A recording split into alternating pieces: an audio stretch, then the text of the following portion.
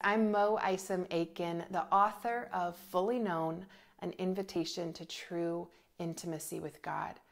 I want to invite you to dive deep, to roll up your sleeves, and to really wrestle through the words, the pages of this book. Because in them, I believe they hold a prophetic word for this hour, as so many are restless or burnt out or feeling distant from God and wondering what does it mean to know God and to be known by Him? Well, I would say it's the heart of the gospel, really. It's important that we get it right, that we understand this gospel invitation to relationship, not just religion. See, Matthew 7 21 through 23 met me when I was at a place of burnout, even though I was doing so many good things. I was working to build the kingdom. I was pouring myself out. And yet it's like my spirit came up for air and cried out, God, why do I feel so far from you? He drew me to Matthew 7 21 through 23. And it's the scripture that says, Not all who say to me, Lord, Lord, will enter the kingdom of heaven. Only those who do the will of my Father in heaven. Many on that day will say to me, Lord, did, did we not prophesy? We cast demons, we perform miracles. But to them I will say, Away from me, I never knew you. Those words rung in my head. I could not shake them. I had to know what that meant. Because when I stand before my Maker, I want to hear, Well done, my good and faithful servant, not away from me, I never knew you. Well, the Hebrew idiom, the translation of that word knew implies intimacy. Deep, layered, complex intimacy. In fact, it's the same version of the word used in a sexual context through the rest of the word. Mary had not yet known her husband, or the man took his wife and he knew her. It's an invitation, really, to the most vulnerable form of intimacy there is. I said, God, what does this mean? And he reminded me the whole earth sings of my glory.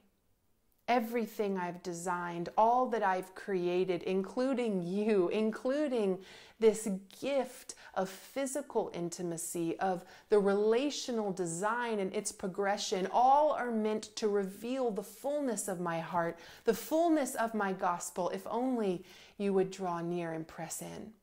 I had to explore what that meant. Because really, when I looked at my life, what I saw was that most of my experiences or my memories or the relationships I saw around me were broken or fractured. Intimacy to me, colliding with God, that was kind of disconcerting. I, I didn't really understand how the two so wholly wove together. But that's the enemy's greatest tactic.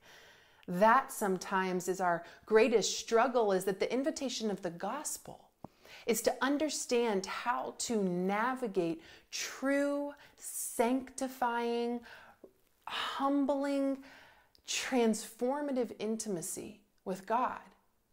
But what we've known or experienced of intimacy involves abandonment, involves pain, for some of us, it involves abuse. For some of us, it involves confusion. For some of us, really, it's, it's masturbatory in nature. It's all about ourselves. And the problem with this is these counterfeit forms of intimacy are confusing us to the truth of what pure God designed intimacy is. We have to wrestle through them. We have to process through to be healed, to become whole in our understanding. Because when we come to understand that He came to rescue us, to pull us from the prison gates of our brothel cell of sin, our enslavement, after we are so deceived that He came on a rescue mission to set us free, and then He took a knee in the very condition He finds us he took a knee and he proposed marriage to us. He looks at our past, the covenant of his love, of his cross. It takes a knee for our future. When we start to understand that marriage, of the bridegroom to the bride. We begin to understand covenantal love that changes everything. We have to draw in, to draw near, to come away with Him into the hidden place. That's where intimacy between a man and a woman are truly cultivated, right? A husband and a wife in the hidden, unseen place. This too is where intimacy with God is cultivated. And we have to let the layers be so gently and kindly pulled back our fear, our sin, our shame, our trauma. We have to be willing to explore Him too, to understand more of His nature, His character, His heart. We have to be willing to say, even if it hurts, even if it's hard, even if this is exposing, truly stepping in to intimacy with God. Man, I know that your yes is sure. You bring abiding love. And my yes can't hinge on my happiness or my comfort. My yes must be an all of me yes. And I will stay of I believe your promises. I believe your word. I believe that no matter what this exposes, no matter how hard this may be, I believe that you're good.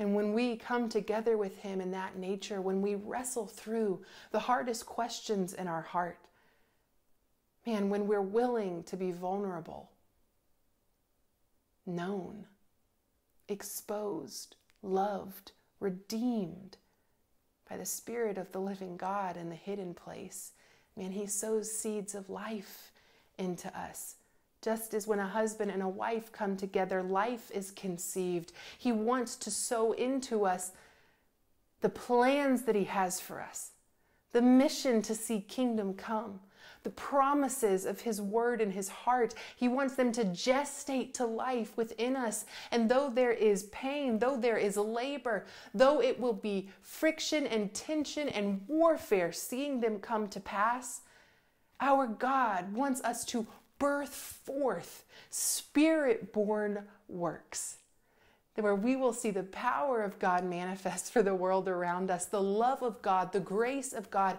the Spirit of God, where the work of the cross won't be in vain, but where we will see it come to pass here on earth, and we will see kingdom come here on earth as it will be in heaven. And we will be sustained in our journey forward. Man, this intimacy, it's so important. Because in drawing near to God in this way, it's works born of the Spirit that are produced. Versus in many of our lives, in my case, it was my works, my efforts preceding my intimacy with God. How often is our question, well, I'm doing all of these things and they're all good, God honoring things, and I just don't know when I'm going to fit in time for God. How do I fit in time in the Word? Oh, let's look to Mary and Martha's life, where he told Martha, Man, Mary has found the good portion and it cannot be taken from her. And Mary was at the feet of Jesus, her intimacy, her reception from him, preceding her labors and her efforts and her life. And this too can become, must become the rhythm of our stories.